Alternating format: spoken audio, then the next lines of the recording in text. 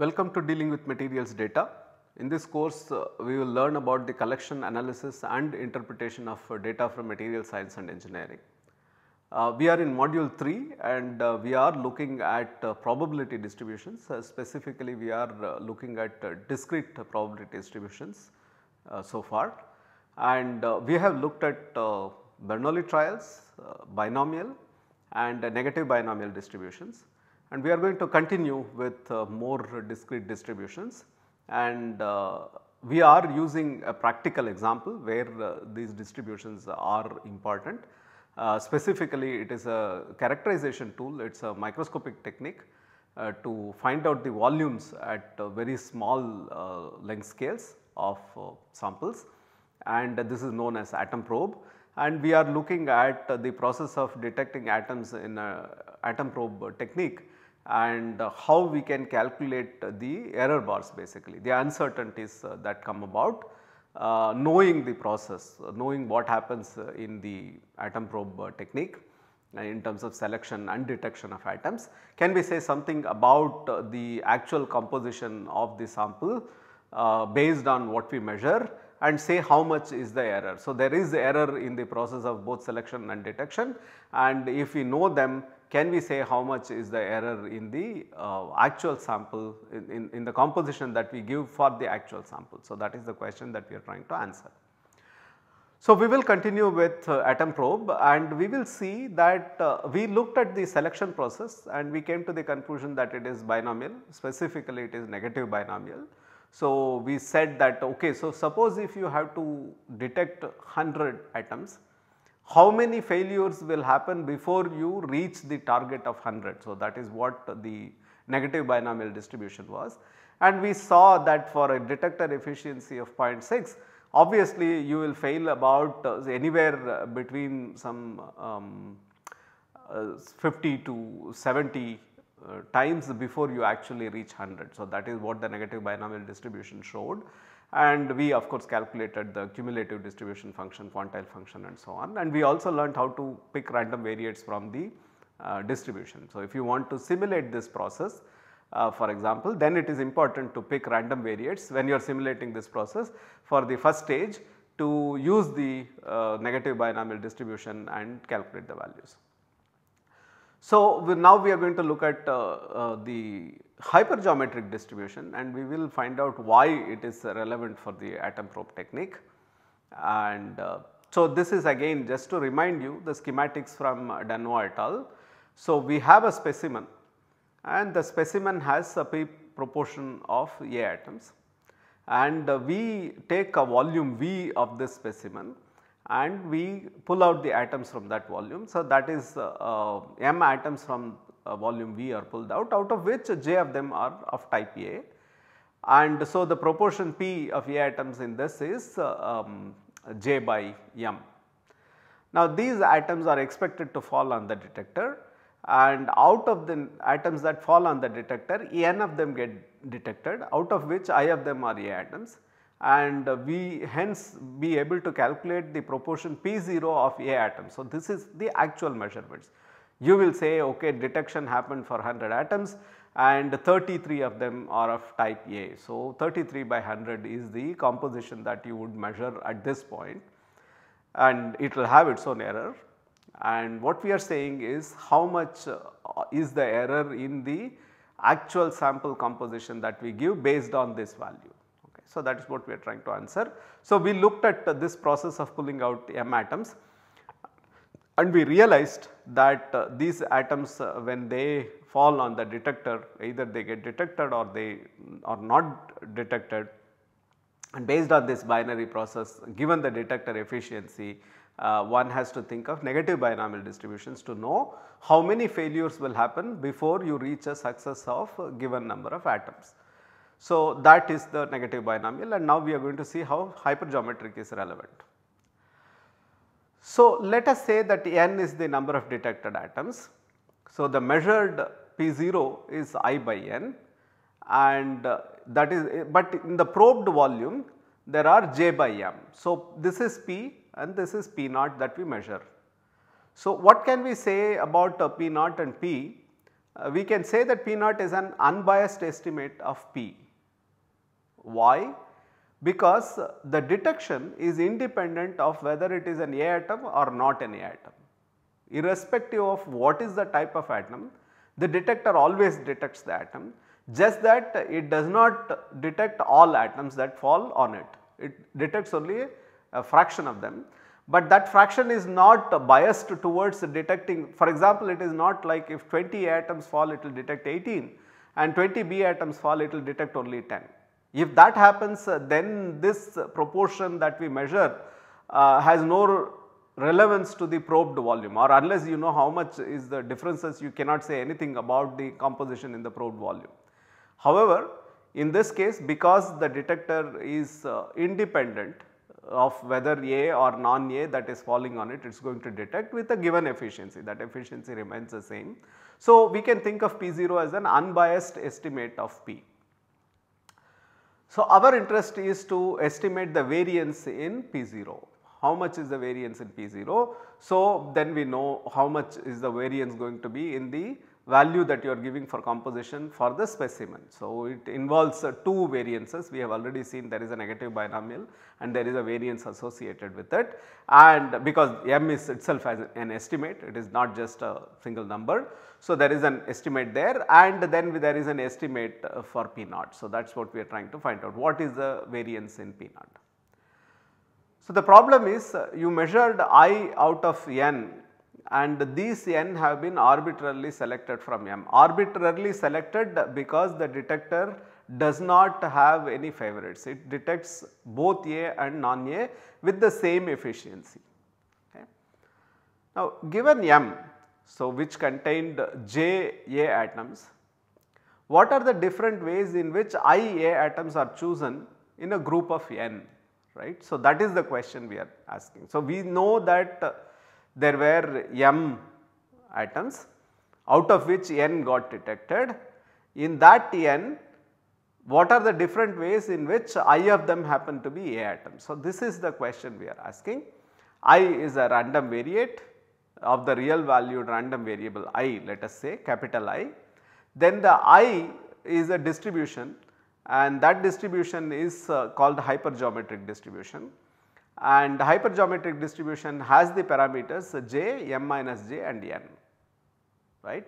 So, what is this hypergeometric distribution? Basically it answers this question given m uh, which contained the j A atoms what is the different what are the different ways in which I A atoms are chosen in a group of n. So, that is what hypergeometric distribution is.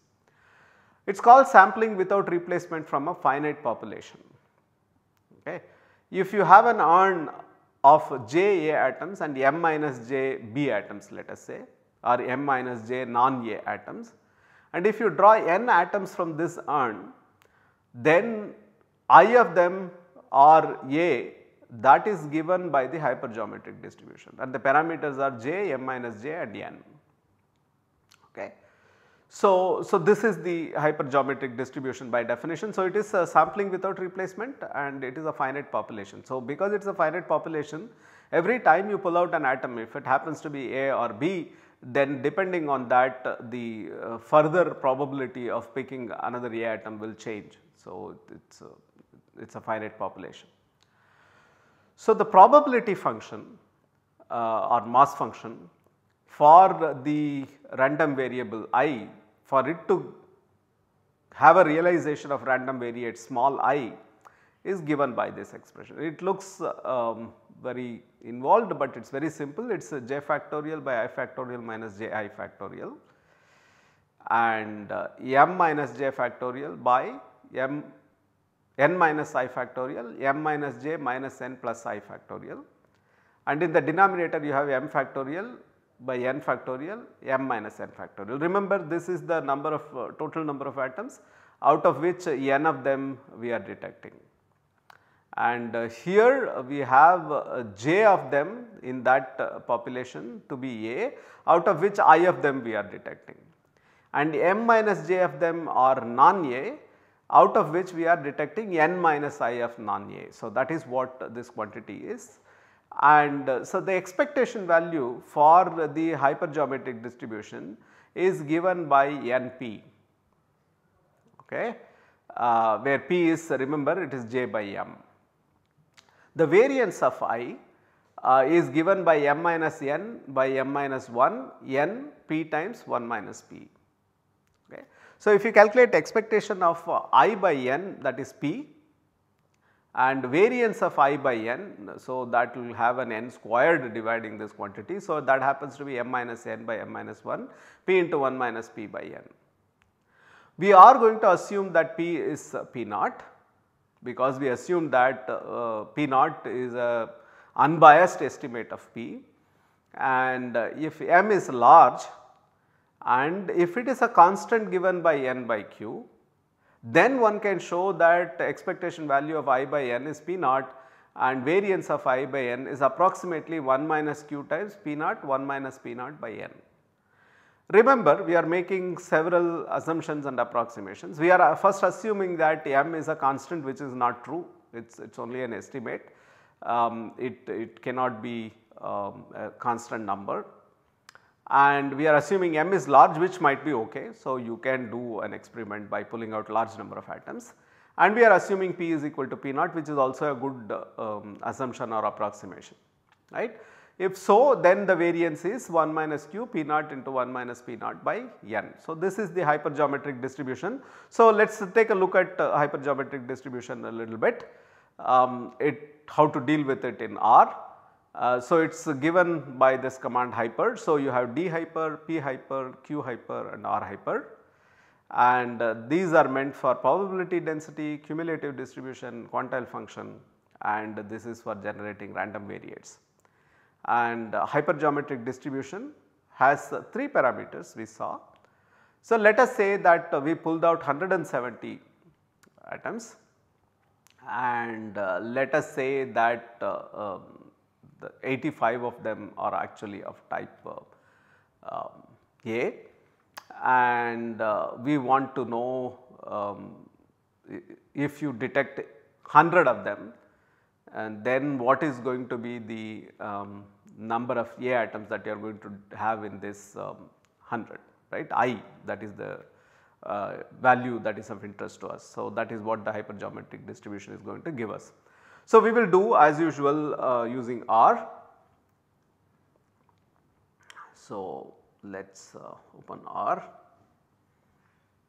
and uh, the version is 3.6.1. So, we get the working directory so, we are in the right directory. So, we can uh, deal with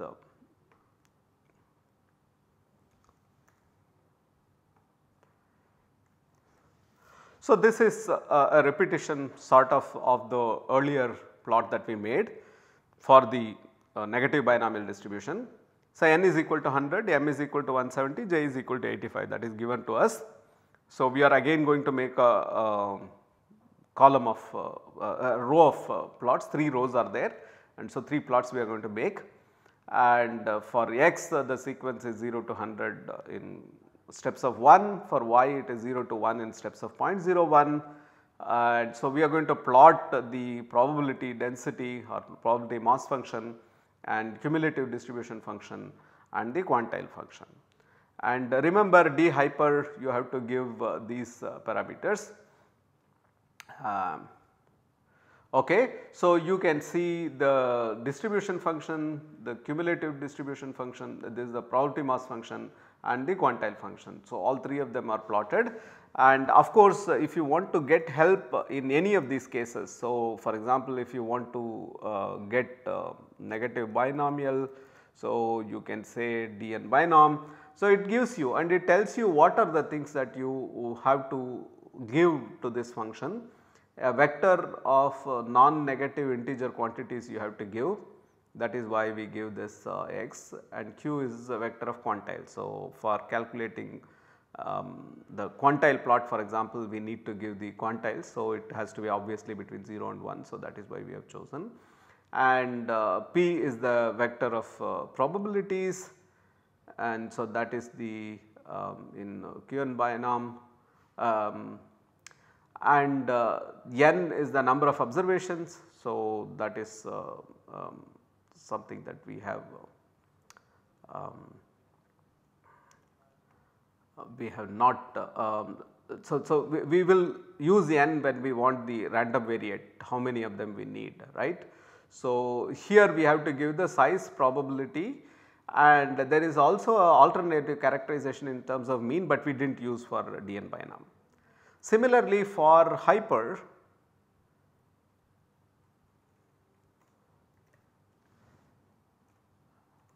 let us say p hyper.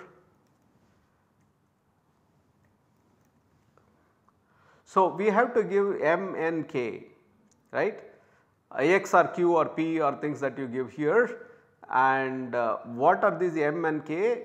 Uh, so, here it is described in terms of uh, white and black balls in an urn. Um, you can think of them as A and B for example or A and non-A for example. Uh, number of white balls in the urn and number of black balls in the urn. That is why we give m and j and m minus j. Okay and k is the number of balls drawn from the urn. So, that is the n for us.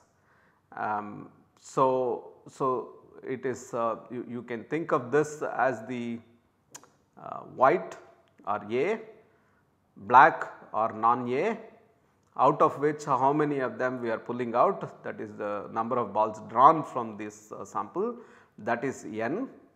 And then this distribution gives how many of them are going to be uh, the atoms of type A right? Hypergeometric distribution is uh, used for sampling without replacement. And these are the parameters. And uh, so it uh, it gives you the information about what this uh, function is giving right. And so this is what uh, we found. So when we do these plots tell you that for example if you pull 100 out of a sample which had 85 A and 85 non-A, then you are going to measure approximately about 50 and uh, there is a distribution. So, and, and this is a cumulative distribution function and this is a quantile. So, okay. So we can also of course get the random variates and uh, from this distribution. So, you can get random variates from the hypergeometric distribution. So, let us do that.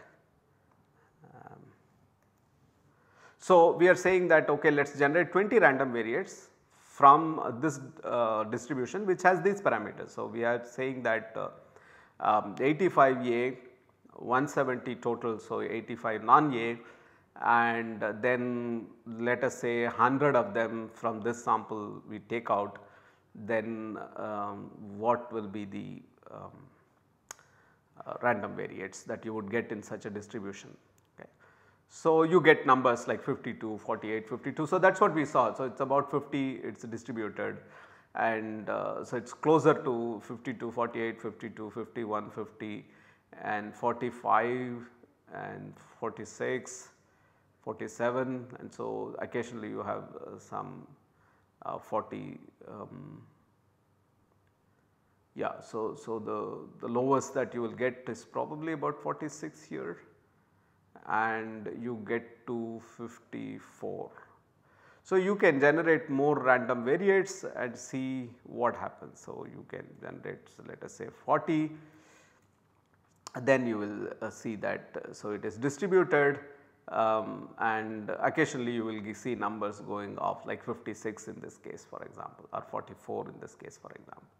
So, you will have the distribution about 50 and it will show you uh, so, this is expected because uh, remember the composition that we are saying is 50 percent and so about 50 percent is what it is going to return and it is going to return values uh, um, about uh, 0.5. So, that is what we expect and that is what we see.